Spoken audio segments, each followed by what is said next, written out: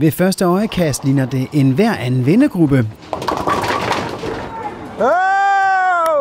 Der er sted for at få sig et par timers hyggestund sammen. Men ved nærmere eftersyn kan man se, at denne gruppe af kuglekastere alligevel adskiller sig en smule. Det er nemlig Amput Caféen, der traditionen tro er mødt op til deres bowlingtur. Apuh!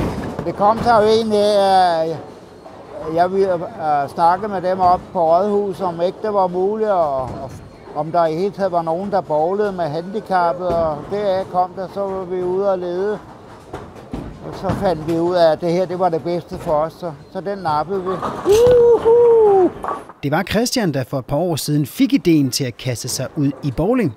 En sport, han selv har praktiseret på højt plan i sine unge dage.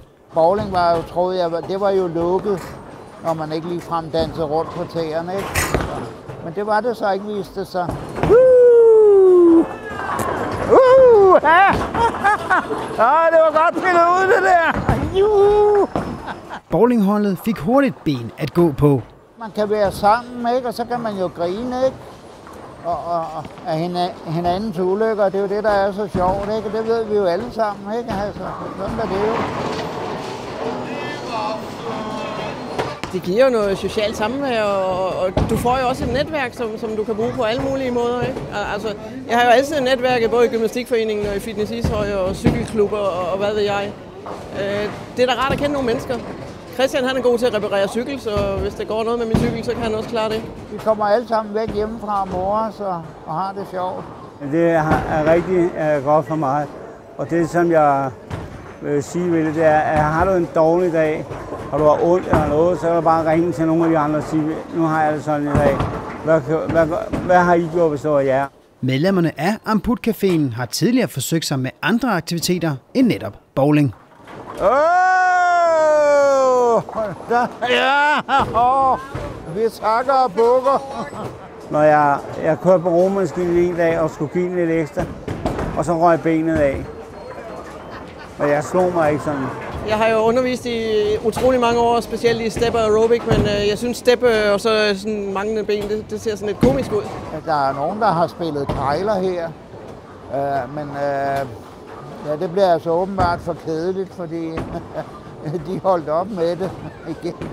For at blive medlem af amputholdet skal man mangle en lemesdel. Det kan være alt fra et fingerled til et underben. Eller man kan få lov til at komme med som påhæng. Men stor rutine med de tunge kugler, det er ikke et krav. Jamen, vi spiller bare for at more så ikke? Altså, ja, altså det, det vigtigste, det er, at vi kommer herud, ikke? Det er ikke der, man vinder. Det, det er det, at man er her. Og så får grinet lidt sammen, ikke? For alle bowlere betyder fællesskabet der også mere end blot lidt motion hver anden onsdag. Det betyder, at man kan have ondt i benene, eller man kan lave sjov. Som du ser, vi griner hinanden, vi laver sjov, og det er ikke om, hvem der vinder. Selvfølgelig, øh, når vi bowler, så driller vi hinanden bag, så ej, du tabte også sidst. Men for mig er det et livsmod at komme herud hver gang. Den er skæv! Den er god! Ej, hvor var det tyndt, så hvor mange Vi kan gøre grin med hinanden. Øh, der er jo okay at sige til en eller anden, prøv lige at rejse dig op, selvom de ikke har nogen ben, ikke? Eller du har fået det forkerte ben ud af sengen, eller hvad ved jeg, ikke? Altså, det er okay, ikke? Det er måske ikke altid okay for folk med to ben, der går ud og siger et eller andet til, til sådan nogle mennesker, vel? Eller det føler de i hvert fald ikke selv. Hej! Og for mig er det virkelig rigtig, rigtig godt. Og det er også rigtig godt at fortælle, hvis der er nogen, der spørger, hvorfor går det dårligt? Jamen, jeg har et dårligt ben. Hvad er det fedeste ved at komme herud til Kajler? Jamen, det er samværet. Det er, for mit vedkommende er det bestemt ikke at vinde, og det tror jeg heller ikke, det er for nogen af de andre. Det, det er bare det, at vi kan være sammen og mobbe hinanden lidt og, og have det skægt. Derfor lyder opfordringen også til, at man bare skal kaste sig ud i det og komme med ud og bowle. Jo flere, jo bedre. No! Vi har prøvet faktisk at få fat i rigtig mange op på øhm, træningscenter op på Kærbo.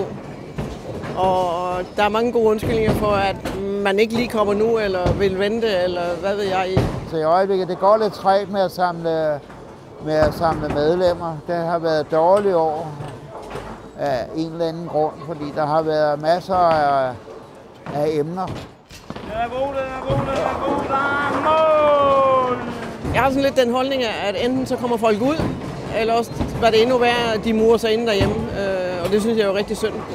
For vi er jo kun mennesker alle sammen. Jeg kunne godt tænke, at vi var mange, mange, mange flere. Ja. Og det håber jeg, vi bliver en dag. Som jeg ser det, så er det, altså, der er ikke nogen her, der vil undvære det. Det er helt sikkert.